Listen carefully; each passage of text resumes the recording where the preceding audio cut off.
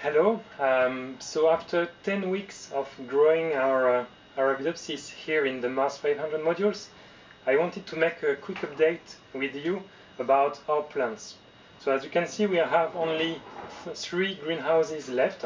The fourth one uh, didn't have any plant inside after several weeks of uh, waiting. So the first is kind of bad news.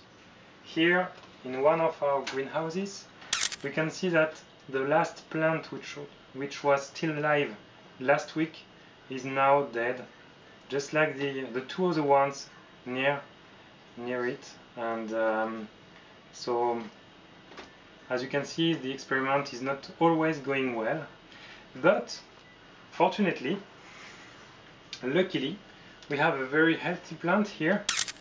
Well as same thing. You can see that there is one plant which is nearly died, nearly dead, sorry, but the other one which is very healthy, which goes up to there with flowers at the end and some fruits. So we should see some seeds quite uh, quite soon, I hope.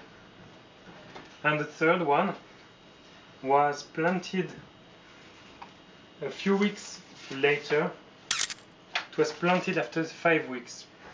So it's only five weeks old and not 10 weeks like those ones and we can see that there is still a small plant here which is growing slowly but steadily.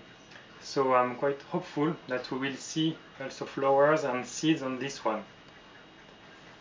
So here it is for this uh, quick update about our experiment greenhouse in space.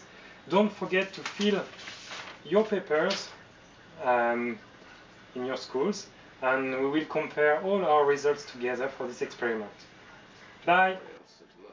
Look, pulse measurement.